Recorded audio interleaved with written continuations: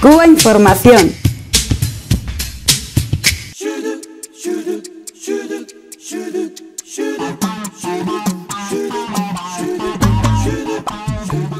Bueno, continuamos con el programa. El gobierno cubano acaba de presentar ante la ONU un informe sobre el impacto del bloqueo de Estados Unidos contra la isla de Cuba.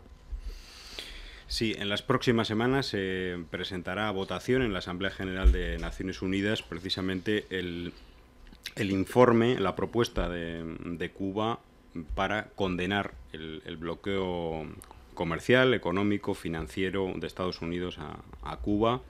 Un bloqueo que hay que decir ha causado pérdidas que superan los 108.000 millones de dólares eh, al, valor actual del, del dólar y que si tomáramos en cuenta la depreciación del dólar frente al valor del oro en el mercado internacional, esa cifra ascendería a un billón, billón, o sea, un billón de millones, 66 mil millones de dólares. Cifras realmente muy importantes para un país pequeño, pobre, del llamado tercer mundo como Cuba. Eh, y un mensaje evidente, el bloqueo es el principal dogal, el principal obstáculo para el desarrollo económico y social de Cuba hemos hablado muchas veces de lo que es el bloqueo y es interesante leerse, a quien pueda, son veintitantas páginas, pero creo que están llenas de ejemplos, de duros ejemplos de lo que es el bloqueo económico, de cómo eh, Estados Unidos tiene a centenares de funcionarios detrás de todas las transacciones económicas, financieras que tienen que ver con, con Cuba y tratando de hacer la vida imposible a la economía cubana, a las empresas, a los trabajadores, etcétera. Eh, hay muchísimos ejemplos que se presentan solamente de este año, de este año, eh, muchísimos ejemplos de lo que es el bloqueo, pero yo explicaría, por ejemplo, algo que es importante, el aspecto de la extraterritorialidad del bloqueo.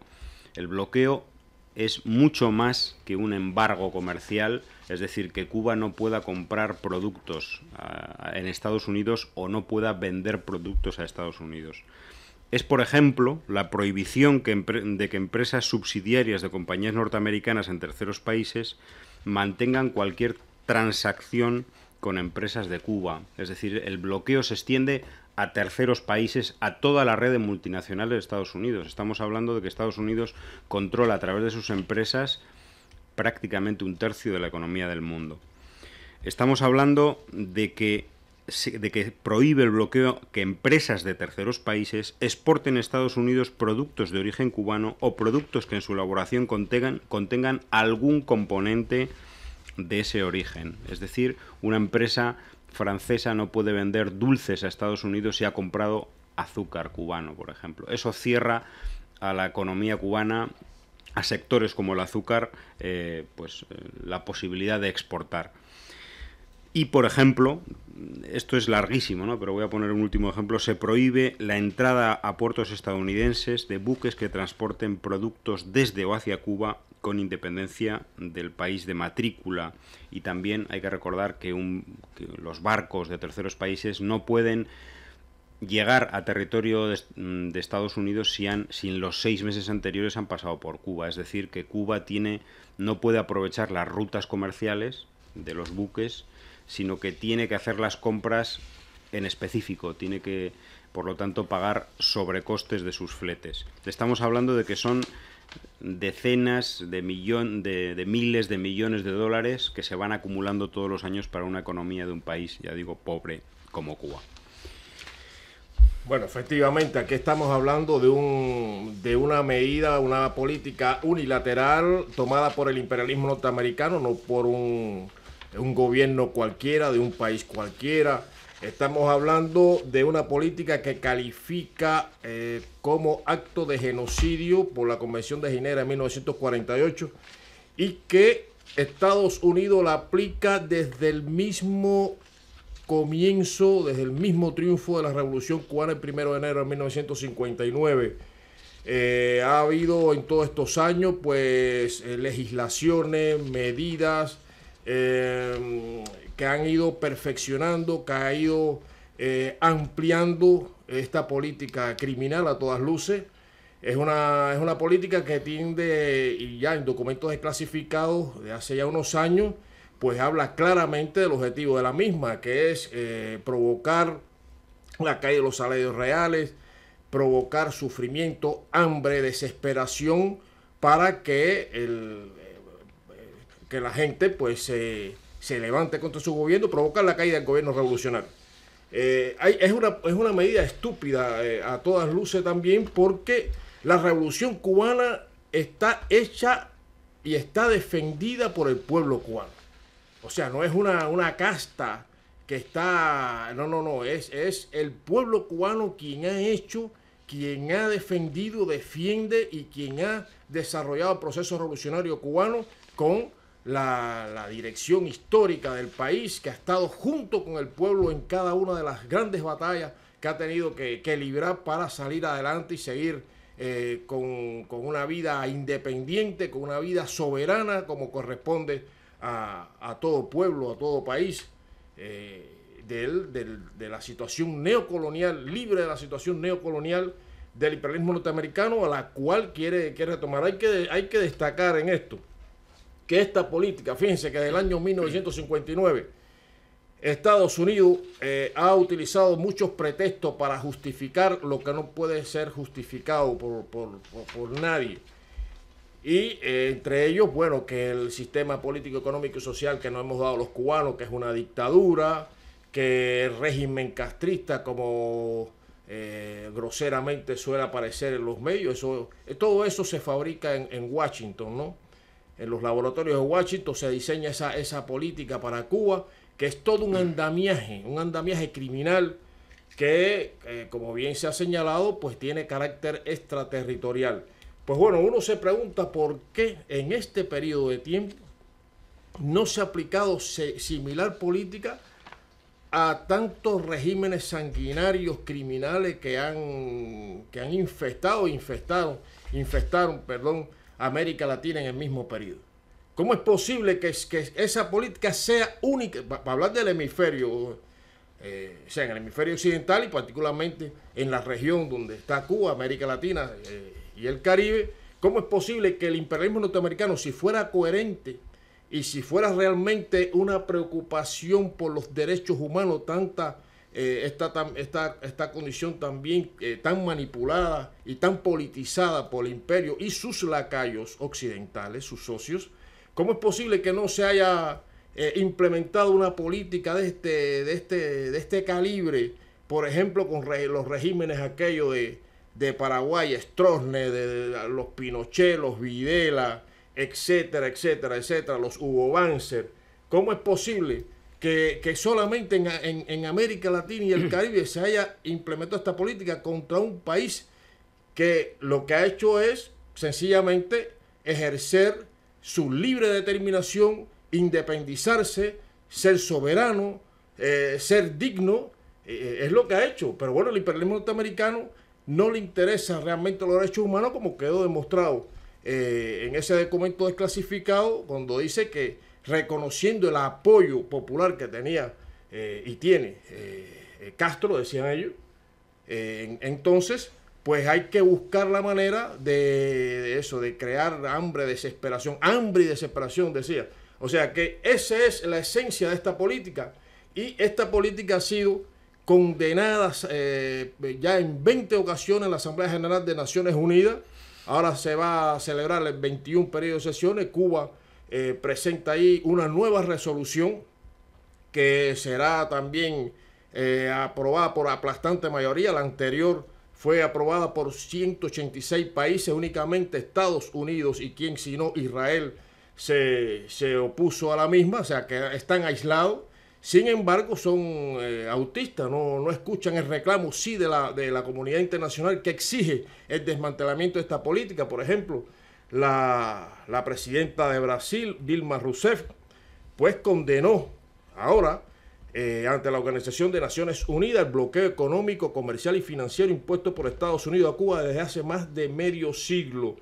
Y eh, esto lo, lo, dijo al abrir el debate en el, el periodo 67 de sesiones de esta Asamblea General. Y también habla de que esta, esta política de hostilidad de Washington ha sido condenada por la inmensa, inmensa mayoría de los países miembros de la ONU. Dice Dilma Rousseff que eh, Cuba, para seguir adelante en su camino, eh, necesita de, bueno, de los latinoamericanos, de caribeños, y necesita el apoyo de aliados próximos y distantes.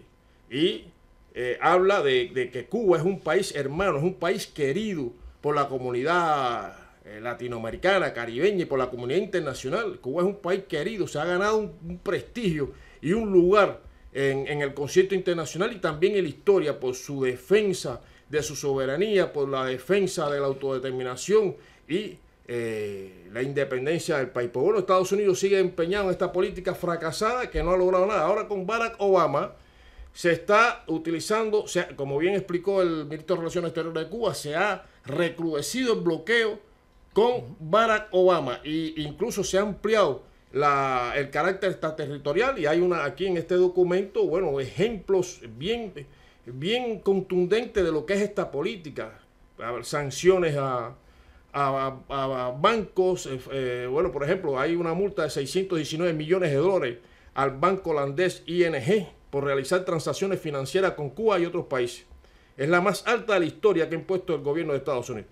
Es decir, que violando incluso las leyes, las legislaciones de terceros países, Estados Unidos, eh, pues bueno, eh, sus leyes que son ilegales, pues la ha trasladado a terceros países para eh, que, que, también a este cerco económico contra un país, un país del tercer mundo, que a pesar de todo ello y, de, la, y de la guerra sucia, porque hay que mencionar también no solo el bloqueo que con todo ese andamiaje ya tenebroso que, que tiene, sino también el terrorismo de Estado, la guerra sucia contra contra un país del tercer mundo. A pesar de eso, Cuba tiene uno de los índices de desarrollo humano más altos eh, del mundo y, de la región y, eh, logros sociales que son inalcanzables, son utopía hoy para muchos países del tercer mundo.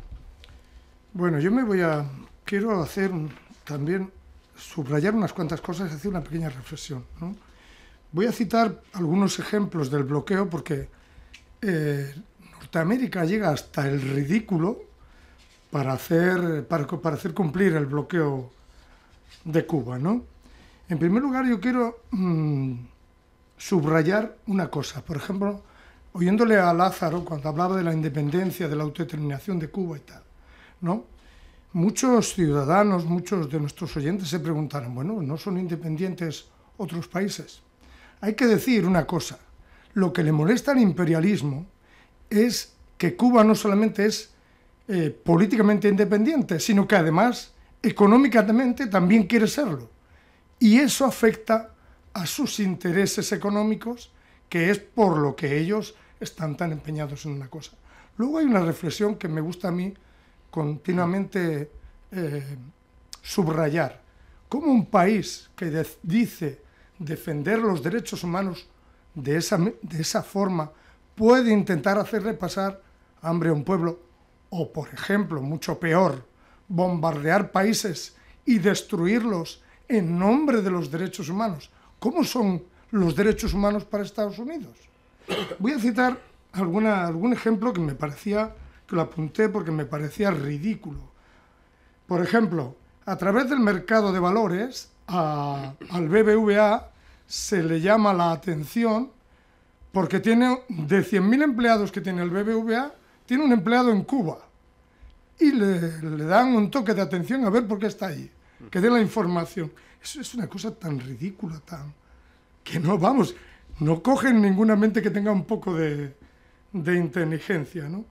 Y luego hay otra cosa que también es bastante ridícula. Por ejemplo, hubo una, una cumbre, la cumbre de Cuba CARICOM, que se iba a celebrar en Trinidad y Tobago, creo mm. que era, en un hotel que es el Hilton. Mm. Y se dio la casualidad de que era de propiedad norteamericana. Pues bueno, prohibieron que la delegación cubana fuera alojada allí. Y entonces tuvieron que cambiar la sede de todo eso. Yo no entiendo hasta qué punto puede ser. Es que es tan ridículo. Y una cosa más.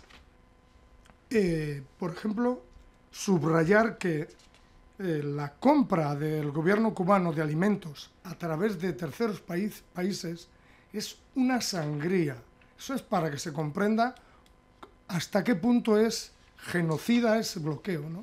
Que el gobierno cubano podría comerciar con cualquier país tranquilamente para comprar alimentos que le costarían igual dos o tres veces menos y tenga que hacerlo a través de terceros países.